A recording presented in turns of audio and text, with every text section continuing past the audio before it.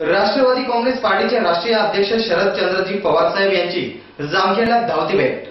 यावेळी नागरिकांनी पाणी प्रश्नासंदर्भात विविध केल्या मागण्या.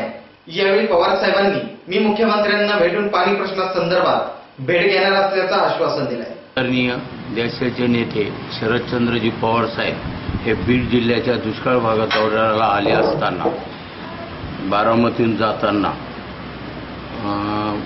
बीडला जात जात असताना जामखेड येथे आपल्या कोठारी पेट्रोल पंपाच्या शेजारी गुणी गुरु गणेश ट्रेडर्स येथे ते दुष्काळग्रस्त करता संपूर्ण तालुक्यातील कार्यकर्ते जनता नागरिक राष्ट्रवादीचे सर्व नेते हजर होते.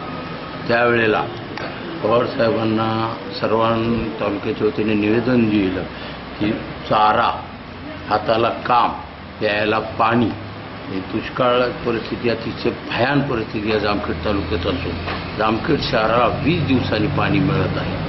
ते निवेदन देऊन जनावरांना निकृष्ट दर्जाचा चारा मिळत आहे. तसं त्यांना पशुखाद्य व्यवस्थित मिळत नाही. त्यामुळं संबंधित ठराविक पक्षाच्या सत्ताधारी पक्षाच्या छावण्या कार्यकर्त्यांना छावण्या दिलेल्या आहेत. त्याची योग्य ती निगा राहून शेतकऱ्यांच्या जनावरांना योग्य चारा पाणी आणि खुराक हा दिला पाहिजे म्हणून पवारसाहेबांकडे मागणी केली. तसंच प्यायच्या पाण्याच्या संदर्भात सुद्धा मुख्यमंत्र्यांना पवारसाहेब भेटणार आहेत. त्यावेळी जामखेडचा विषय ते तिथं काढणार असून त्यांनी नगरपालिकेकडनं जामखेडला वीस दिवसांनी पाणी मिळते असं लेखी निवेदन मागितलं आहे. त्याच्यानंतर छावण्याचा विषय दुष्काळा रोजंदारीला रोजगार हमीवरचे कामं अजून कुठले चालू नाही आहे मजुरांना कुठल्याही प्रकारे शेतमजुरांना काम नाही.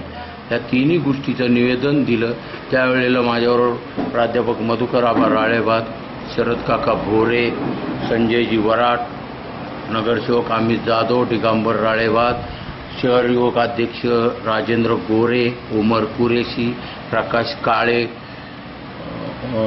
तुमचे अमजद पठाण संतोष निगुडे शरद शिंदे व असंख्य राष्ट्रवादीचे कार्यकर्ते हजर होते. साहेबांना सर्वांच्या सह्यानी निवेदन देऊन परवा जे जामखेडला दोन मारामाऱ्या झाल्या ते तातडीने रोहित दादांनी बारामती ॲग्रोमार्फत दोन टँकरही तिथे चालू केले ती सुद्धा सर्व माहिती त्यांना दिली आणि त्याच्यात लवकरच दुरुस्त करण्यात येईल असं साहेबांनी आश्वासन